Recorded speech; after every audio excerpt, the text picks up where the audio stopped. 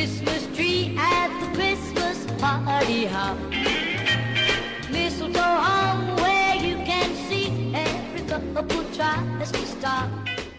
For this DIY, you will need a sweater of some sort. I bought mine from Forever 21 for about $12.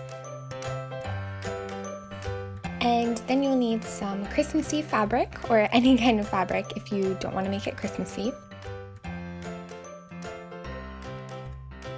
And then some scissors that are able to cut the fabric.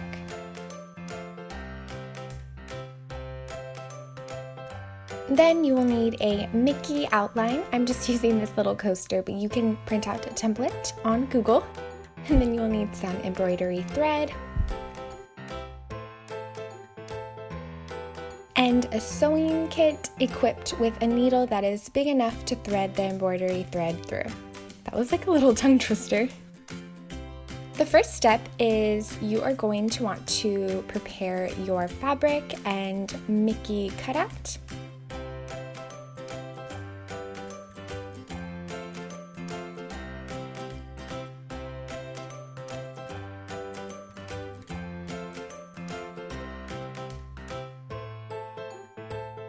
I decided it was easiest if I just traced my Mickey with a little marker.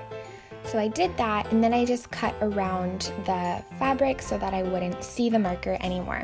But you could choose to use a pencil if you're worried about it bleeding through your fabric too much.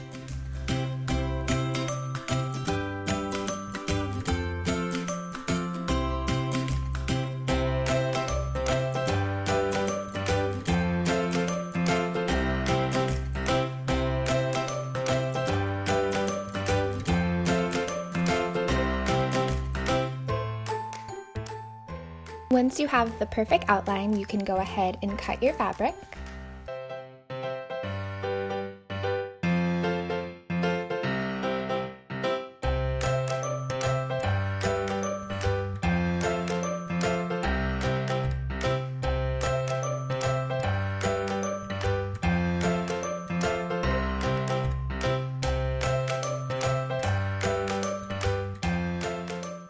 And here comes the trickier part. It is time to sew on your Mickey patch.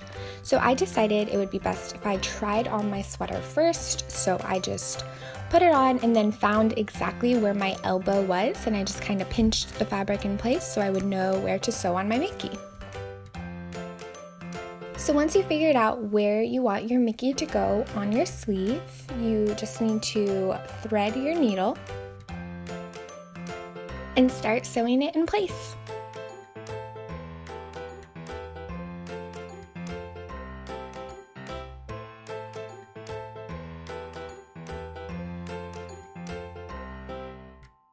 I'm just doing a super simple stitch, nothing fancy at all.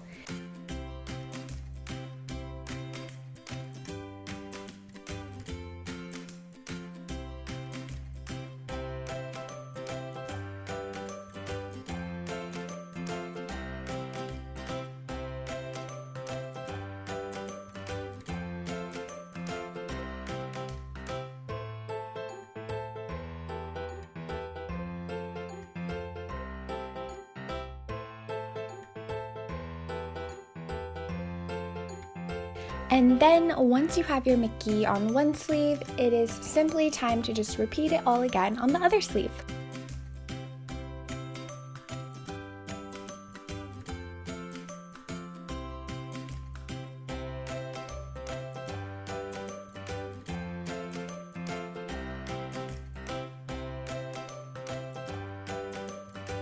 And that's it. It's as simple as that. I really hope you guys enjoyed this DIY. If you did, please let me know if you recreate this. I love to see it when you do, and make sure you subscribe and like this video. Thanks for watching, guys. Have a wonderful day. Bye.